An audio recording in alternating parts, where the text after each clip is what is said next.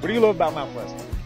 I love the community aspect of Mount Pleasant. I love the fact that you can walk down the street and see people that you know. Everyone says hi to you, especially even if you don't know them. They'll still say hi to you. Nothing can compare to Mount Pleasant. It really can't. It, it's wonderful, and we always knew we would come back.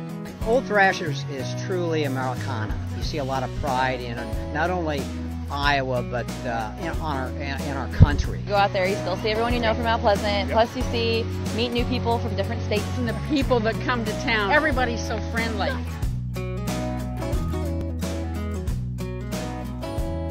I love the people. They're very, very friendly. They volunteer for anything. The best part of working at Innovairre is having a great team. And a team that actually feels like a family.